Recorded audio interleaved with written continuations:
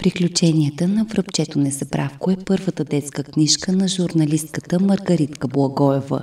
Това е вълнуваща и емоционално разказана история, тъй като самата тя я преживява с едно връбченце, когато е била едва на 8 годинки. Аз съм журналист по принцип, това работя повече от 20 години в вестници.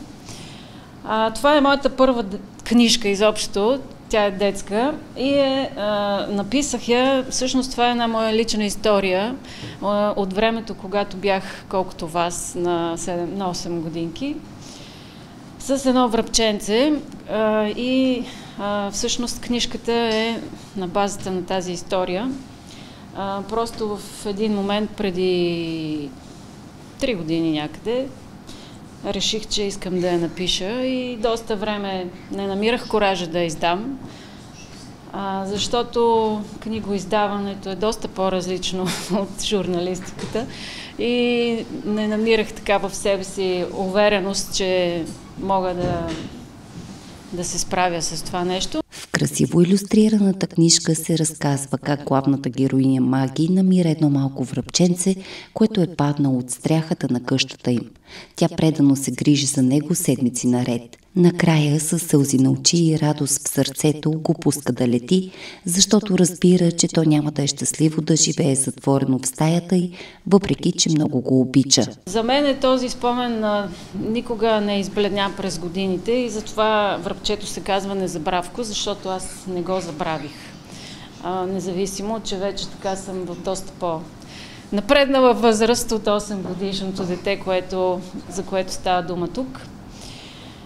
И а, споменът е много мил за мене и а, тази дружба с това върченце на мен специално ми даде много.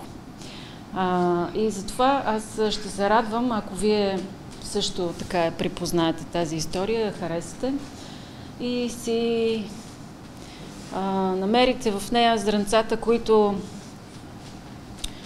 биха ви направили щастливи и биха ви донесли много радост. Пред децата авторката Маргаритка Благоева изтъкна и защо е толкова важно да се четат книги. Книгите за мен са точно това нещо. Да се свържем с себе си, да, да се преоткрием до известна степен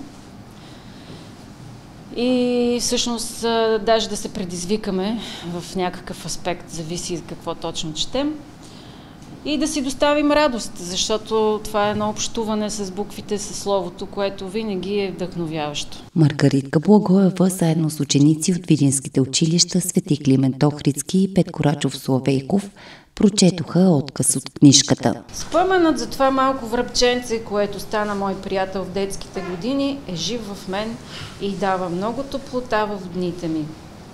Когато се почувствам тъжна или сама, си спомням за незабравко и за това, че за приятелството няма граници. Иска ми се и вие да растете с тази вяра. Подарявам ви я. Маги живее в малък град в къщата на баба си и дядо си, заедно с родителите си и по-малката си сестра. Маги е на 8 годинки, вече ученичка, но сега е в вакансия. Тя е с дълги, кестеняви коси, вързани на опашка с пандълка. Има големи, изразителни кафяви очи. Облечена е в любимата си жълта рокличка и къси бели чорапки. А посланията към децата читатели е, че за приятелството няма граници, че ако обичаш някого, искаш той да бъде щастлив, че съпричастността към хора и животни е вълнуващо и зареждащо чувство, че с грижа и любов можем да помогнем на всеки да преодолее дадени трудности.